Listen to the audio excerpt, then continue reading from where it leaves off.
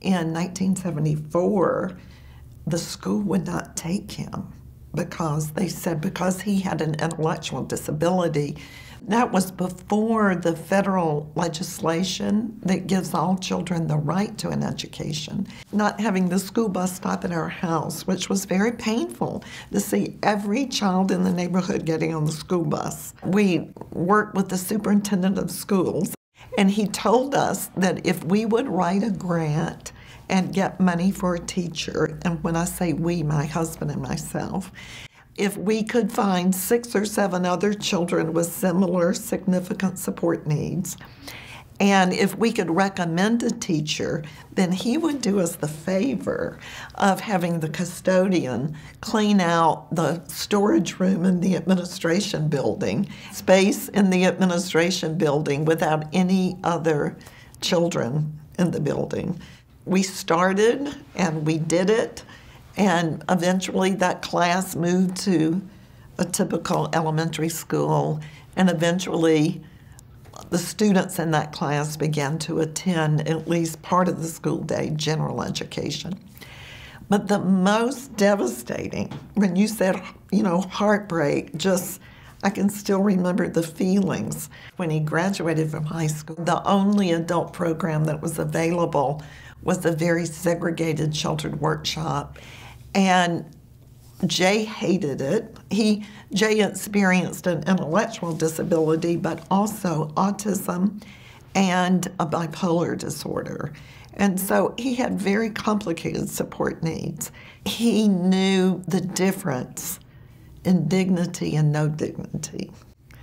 And in this workshop and group home where there was no dignity, he very much rebelled before this happened, his younger sister, who at that time was about in third or fourth grade, went to see him to visit him in the group home after he had been there a week or so.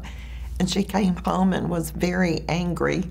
She said, Mom, you wouldn't want to live there? I wouldn't want to live there. Why is it okay for Jay to live there? he chose the one person that was in the group home whose family had the power to get Jay kicked out faster than anybody else could have. He started hitting and choking the son of a state legislator.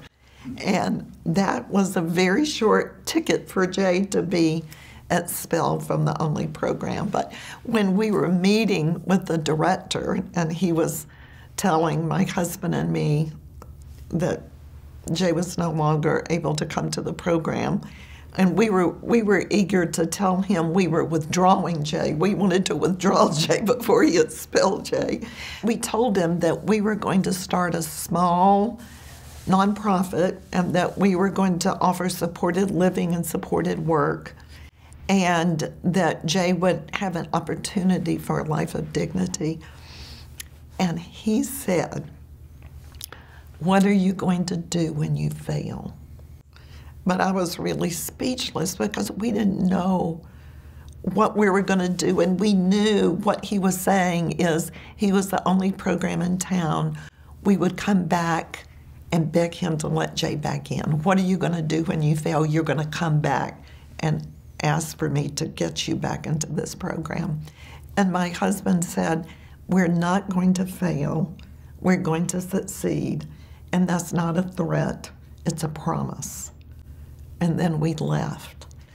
We were free from the shackles of the system, but we didn't know how to put together what was going to be needed for Jay to flourish. That started a fire um, of building inclusive communities for um, not just children to go to school, but for adults to live and work and and recreate and have a wonderful life in the community. And I'm so thankful that that came about in Jay's life.